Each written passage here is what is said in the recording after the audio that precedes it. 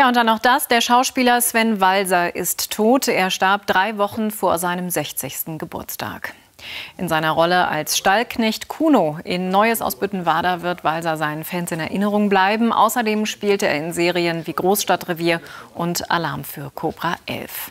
Zuletzt arbeitete er am Ernst-Deutsch-Theater in Hamburg. Walser starb nach schwerer Krankheit.